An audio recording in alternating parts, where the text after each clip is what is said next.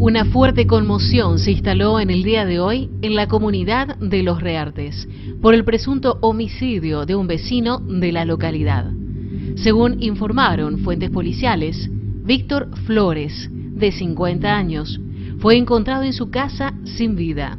Estaba atado de pies y manos. Se estima que habría fallecido por asfixia. El hombre vivía solo y tenía un complejo de cabañas. La fiscal de instrucción de Río Tercero, Andrea Heredia Hidalgo, llegó al lugar alrededor de las 11 de la mañana con su secretaria y asistentes. El caso se manejó con marcado hermetismo. Los investigadores aún no adelantaron ninguna hipótesis sobre las causas de este hecho. La víctima, Víctor Flores, había sufrido un violento asalto años atrás en la misma vivienda. En aquel momento, unos cuatro individuos a cara descubierta lo asaltaron en horas de la madrugada en su casa. Los ladrones ingresaron tras romper una puerta, lo redujeron y le provocaron algunas lesiones leves.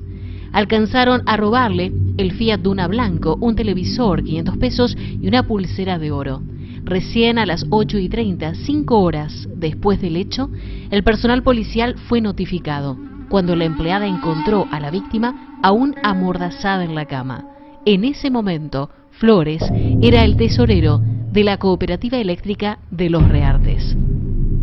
En esta ocasión, con el fallecimiento del caballero, fuentes policiales no precisaron mayores datos y están investigando el caso que podría ser un homicidio.